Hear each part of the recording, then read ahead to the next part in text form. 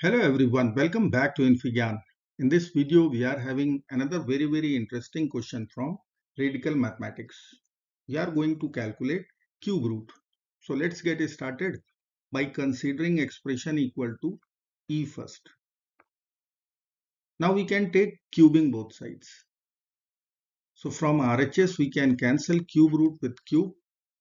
We can write e cube equal to square root 5 plus 1 over. Square root of 260 we can factor 52 times 5 minus square root 125 we can write 25 times 5 then plus root 52 minus root 25 now we know that square root of a times b equal to square root a times square root b. So e cube will become square root 5 plus 1 over square root 52 times square root 5 minus square root 25 times square root 5 plus square root 52 minus square root 25. Now we can write e cube will be equal to square root 5 plus 1 over square root 52 times square root 5 then we can write square root 52 term then we'll write square root 25 times square root 5 minus square root 25. Now here I will take square root 52 common and from these two terms we can take minus square root 25 common. So we can write e cube equal to square root 5 plus 1 over. Square root 52 in the bracket square root 5 plus 1 then we have square root of 25 with minus sign common out in the bracket root 5 plus 1 now we can write e cube equal to square root 5 plus 1 over. Square root 52 minus square root 25 times square root 5 plus 1. Now we can cancel root 5 plus 1 from numerator denominator.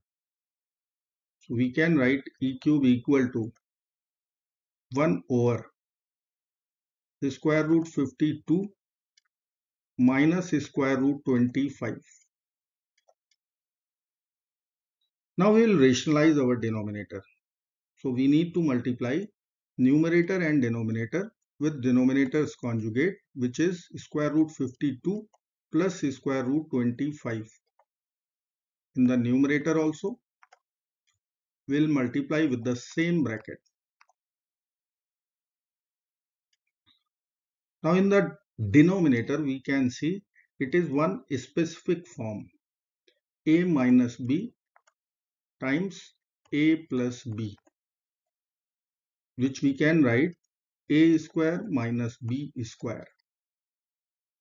So I can write e cube will be equal to square root 52 plus square root 25 over square root 52 whole square minus square root 25 whole square. Now square root and square will be over in the denominator. So denominator will become 52 minus 25.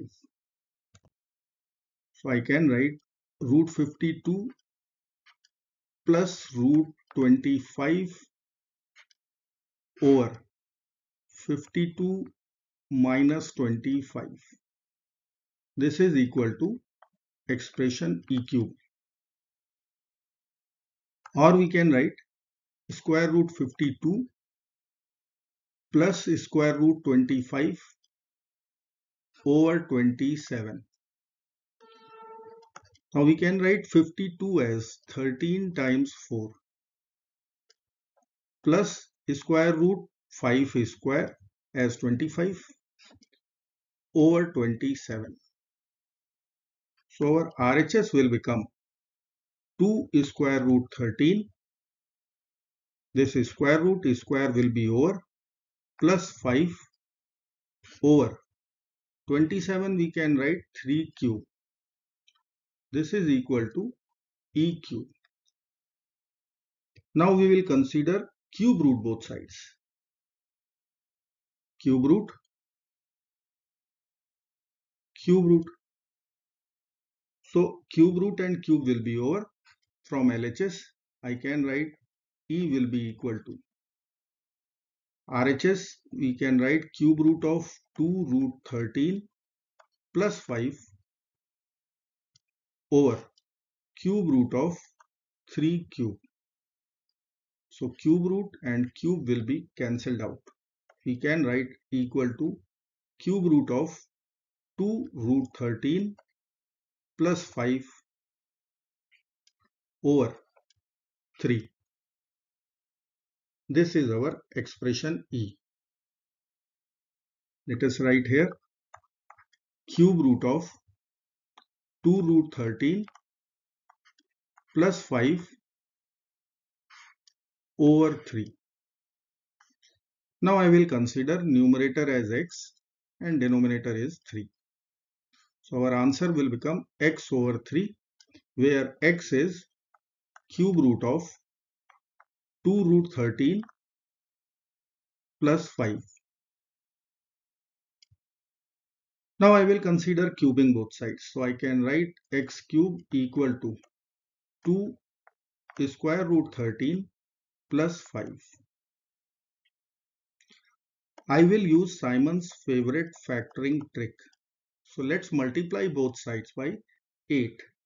So 8x cube equal to 8 times 2 root 13 plus 5.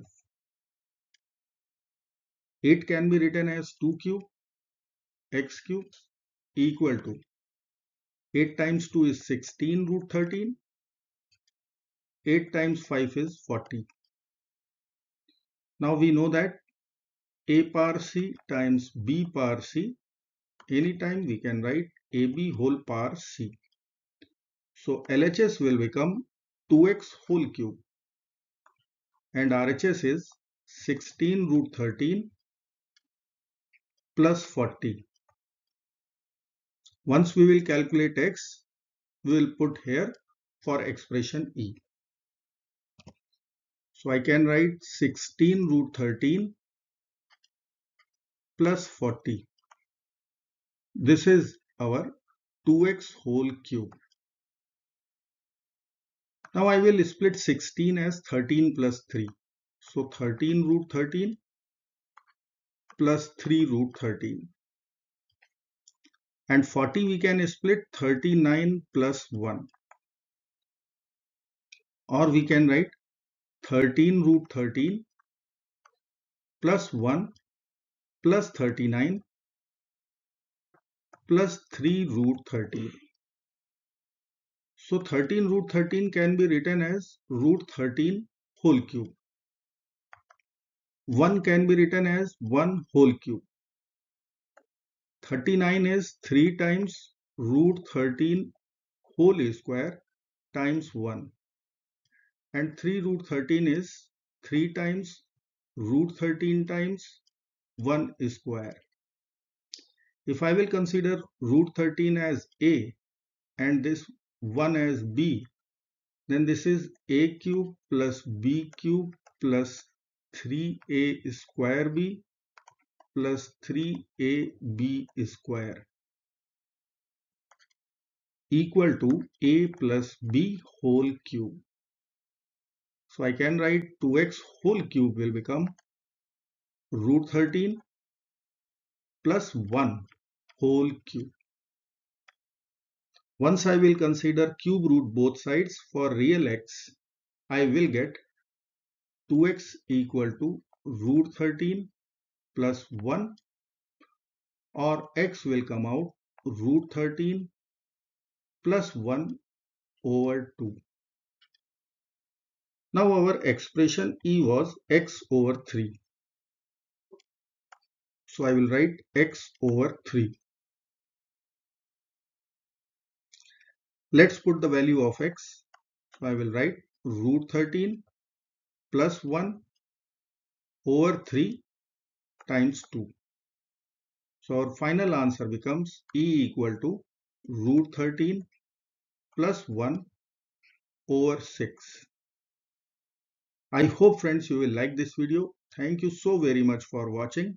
Do not forget to like, share and subscribe. Bye bye till next video. Good luck and take care of yourself. Bye bye.